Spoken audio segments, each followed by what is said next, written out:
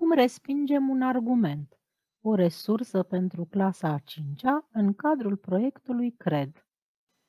Uneori, suntem puși în situația de a nu fi de acord cu un argument, însă știm întotdeauna cum să-l respingem fără a ne certa cu partenerul sau partenerii de dialog?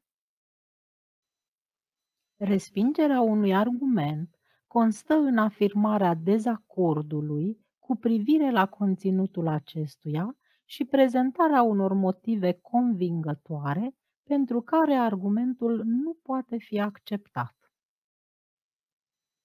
Iată patru pași pentru a respinge un argument.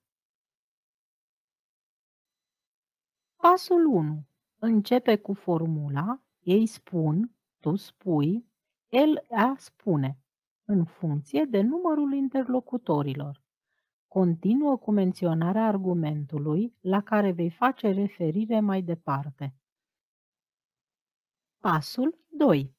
Continuă cu formulele, însă eu nu sunt de acord sau noi nu suntem de acord dacă reprezinți o echipă. Exprimă poziția ta sau a echipei tale față de argumentul amintit. Pasul 3. Continuă cu formulele pentru că, deoarece, etc. Prezintă unul sau mai multe motive. Pasul 4. Finalizează cu ajutorul formulelor, în concluzie, prin urmare, așadar, prezintă concluzia prin reluarea punctului tău de vedere.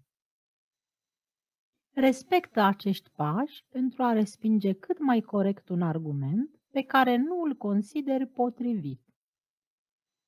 O resursă educațională în cadrul proiectului CRED